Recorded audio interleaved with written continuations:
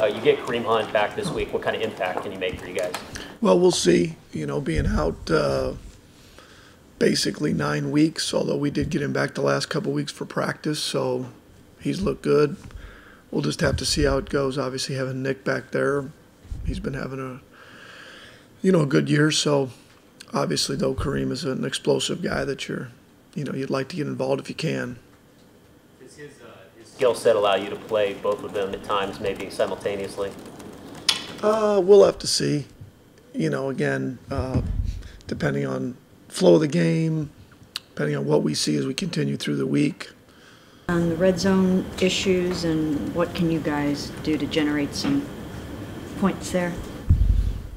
Well, it's always going to come back to execution. Well, let's start with this part: the scheming it better, running the ball better when you get down there, executing it better. Sometimes thinking players, not plays. You know, there's a lot to it, but obviously uh, we've got to get better down there because those are the core statistics that keep you from winning games: turning over, being explosive, scoring touchdowns in the red zone. You find the balance between uh, not forcing the ball to Odell, but yet getting him more involved early and often. Well, again, that's uh, you know when you have great player, a great player like him, and we have a number of those guys. You know, skill wise, we're always looking for ways to to involve him in the offense, and um, sometimes it uh, presents itself, sometimes it doesn't.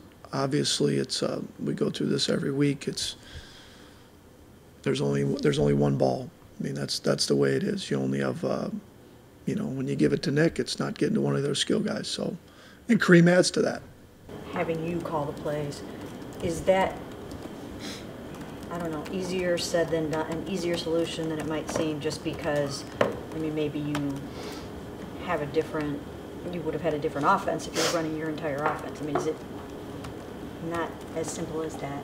Well, it's not because I came here knowing that I wasn't going to be calling the plays. So it's it's really a non-issue, you know, until that. Like I always say, when you're an assistant.